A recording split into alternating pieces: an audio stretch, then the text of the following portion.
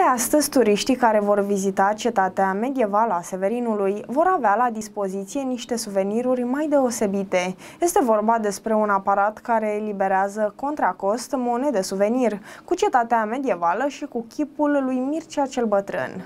La începutul verii au trecut pragul cetății medievale a Severinului peste 5.000 de vizitatori. Acum că nu mai există restricții împotriva coronavirusului, turiștii din toate colțurile țării sunt așteptați în cetatea de pe malul Dunării pentru a admira frumusețile locului. Dacă ne raportăm la luna iunie, în cetate au venit peste 5.000 de turiști care au achiziționat bilete ceea ce înseamnă un venit uh, suplimentar pentru a fi investit din nou către uh, cetate și bunurile care vedeți că apar uh, de la o lună la alta, iar la Muzeul Artelor peste 2000 de turiști, la fel plătitori de bilet. Din acest punct de vedere ne bucurăm că în sfârșit turiștii pot să vină fără restricțiile pandemice și îi așteptăm în continuare, bineînțeles toată vara vom fi foarte pregătiți și un lucru bun care s-a întâmplat în ultimul an, programul la cetate și la Castelul Artelor este inclusiv lunea. Muzeele de obicei au închis lunea, dar uh, având în vedere că avem turiști în fiecare zi,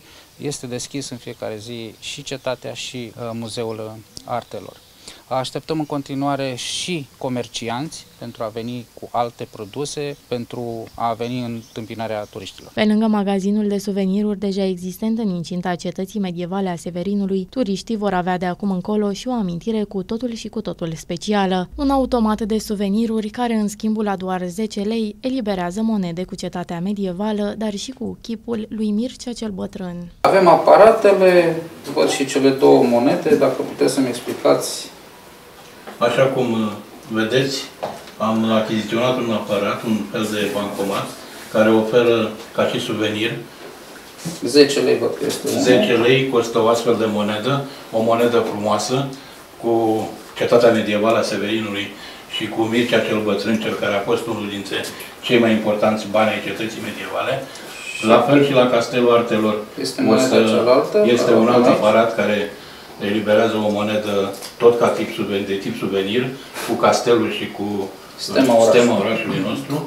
Ele sunt niște aparate moderne, sunt conectate și la, la internet. Reprezentanții cetății spun că turiștii s-au arătat foarte interesați de acest automat și că au fost zile când au fost achiziționate și peste 20 de monede. Băgați acolo bănuții, apăsați aici